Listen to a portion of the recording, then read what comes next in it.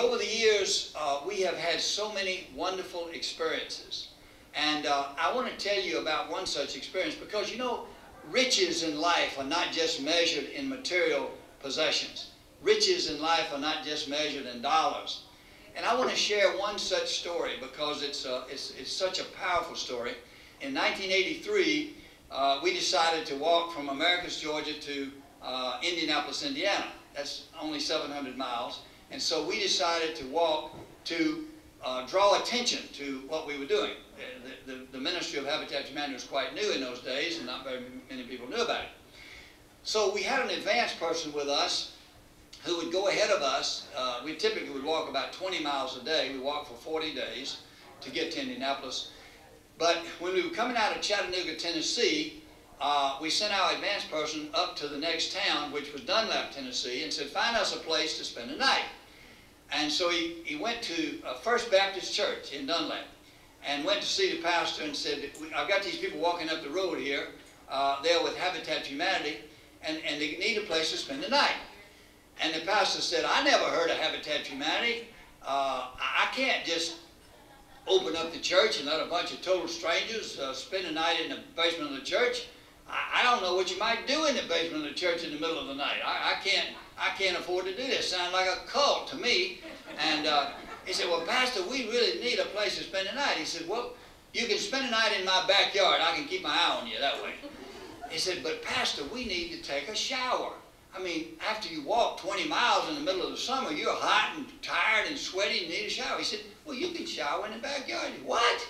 Take off your clothes and shower? Of course you're not going to take off your clothes. You can. I got a hose pipe out there. You can shower with your clothes on.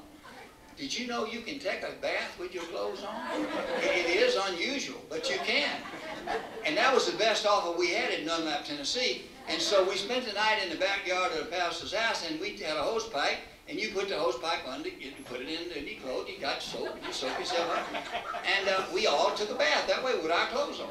That's the first and last time I ever did that. But it's you ought to try sometime. It's an interesting experience.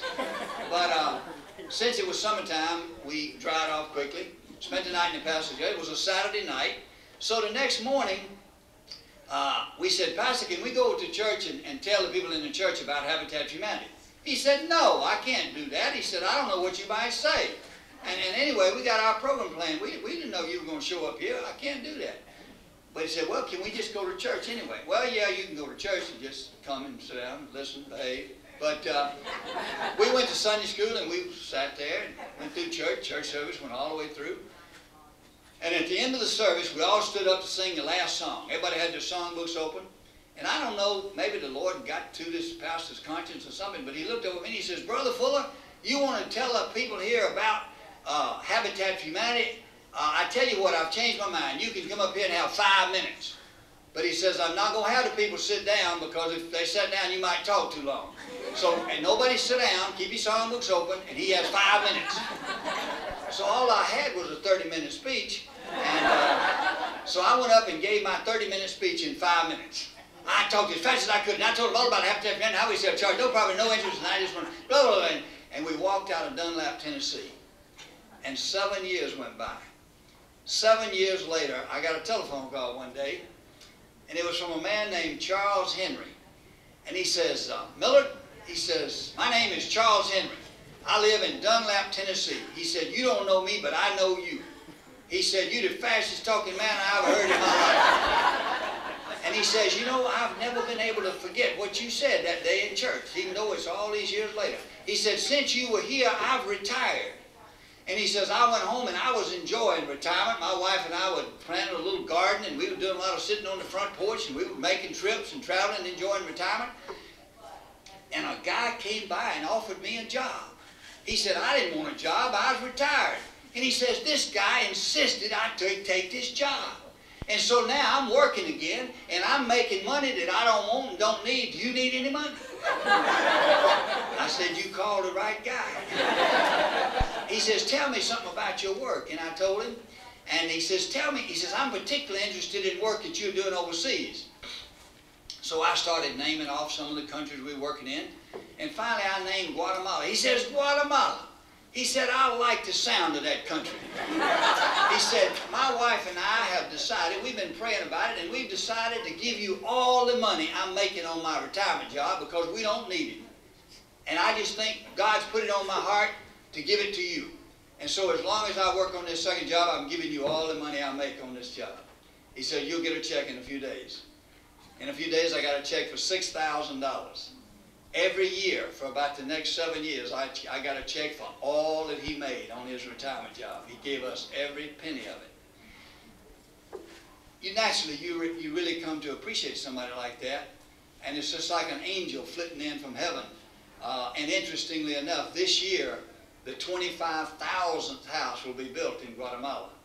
So it's transformed so many communities there.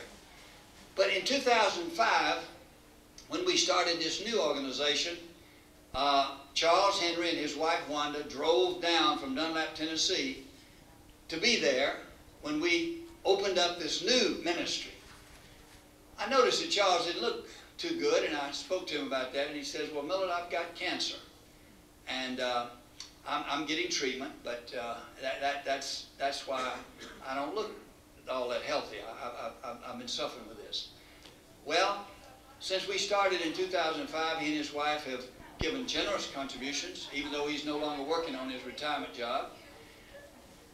But last week I got a phone call from Charles Henry, and he said, Millard, um, tell me about some of the work you're doing overseas. And I said, well, we've got an 80-house uh, project in Nigeria. Uh, we're building 100 houses in El Salvador. And he says, how much do your houses cost in El Salvador? I said, about $5,000 a house. He said, what about Nigeria?